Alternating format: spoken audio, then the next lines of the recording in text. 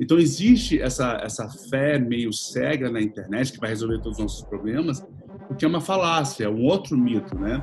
Essa coisa maluca neoliberal que prevê o ganho a todo custo não deu certo. Esse mercado financeiro precisa ser repensado. É da natureza humana a gente se relacionar, ter o contato físico, enfim. As pessoas apropriaram a tecnologia, as pessoas apropriaram formas de se criar é, informação. E o que a gente tem? A gente tem essa coisa maluca de fake news.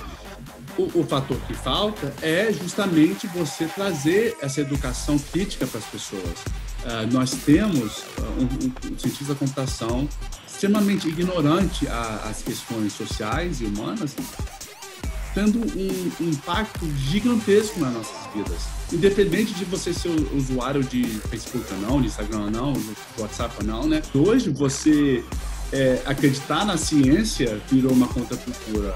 Você acreditar na decência humana virou uma contracultura. Ah, as, as pessoas estão apropriando a tecnologia para se individualizar mais. Que, que é triste, né?